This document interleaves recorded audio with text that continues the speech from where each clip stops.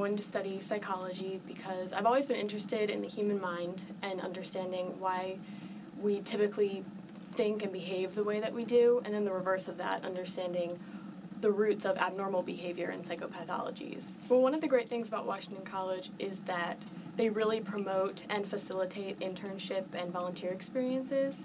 So for one semester, I interned at Community Mediation Upper Shore here in Chestertown, which is a nonprofit organization that offers alternative dispute resolution outside of the courtroom.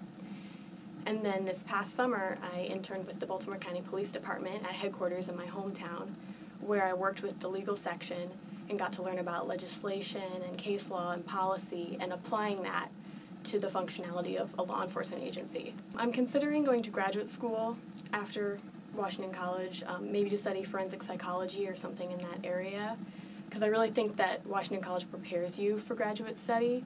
In the psych department, I know that a number of the courses are typically graduate level, so you already have that information under your belt for when you want to apply or attend graduate school. So that's definitely an option. But beyond that, if I decide I want to try to get a job right after undergrad, I think that my internship experiences have allowed me to network, specifically in the uh, criminal justice area, which is something that I'm very interested in. And so that increases my chances of getting a job after graduation. So I'm very grateful for that.